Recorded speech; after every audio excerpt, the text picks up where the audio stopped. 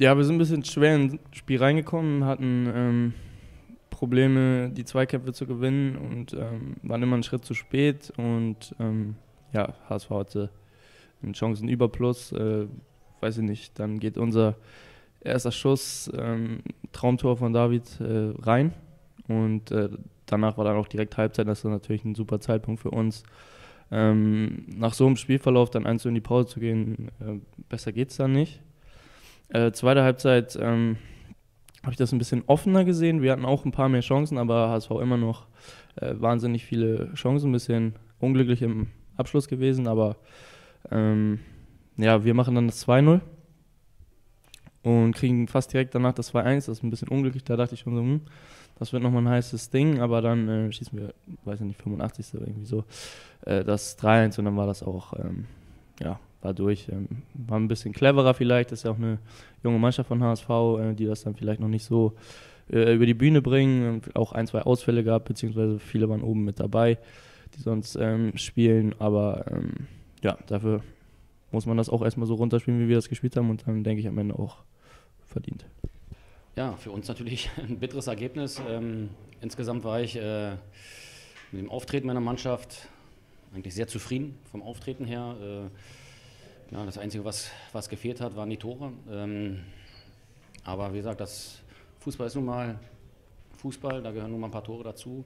Wir haben, denke ich, das Spiel von, von der ersten bis zur 90. Minute kontrolliert.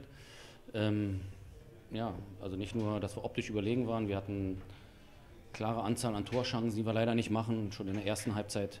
Ähm, aber wie gesagt, Fußball ist Fußball, erster gefährliche Ball aufs Tor. Äh, kurz vor der Halbzeit steht es 1-0. Das war schon sehr ärgerlich, eigentlich mit 0-0 in die Halbzeit zu gehen, aber dass wir noch einen kriegen, war schon sehr bitter. Zweite Halbzeit eigentlich unverändertes Bild. Ähm, trotzdem bin ich äh, ja, zufrieden, wie wir auftreten. Ja, das war nochmal gut, wenn jetzt äh, ja, jemand nicht zugeguckt hat, der denkt, okay, 3-1, das haben die sich mal abschießen lassen, für die trudeln ein bisschen aus, aber das war wirklich ein sehr guter Auftritt meiner Mannschaft.